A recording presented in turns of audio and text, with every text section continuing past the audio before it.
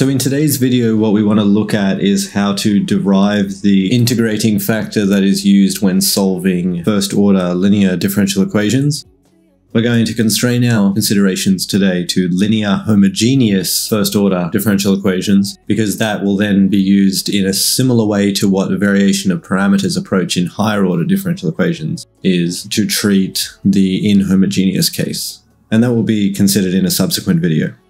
So let's consider the first order linear homogeneous differential equation dy on dx plus p of x times y is equal to zero.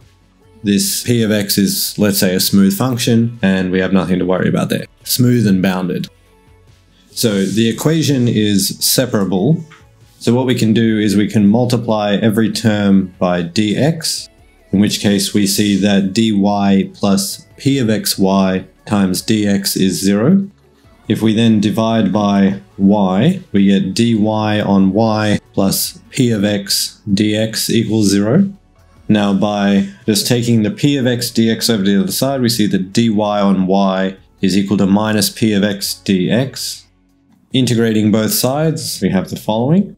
And so the left-hand side is just ln of mod y plus c, and that's of course just equal to minus the integral of p of x dx.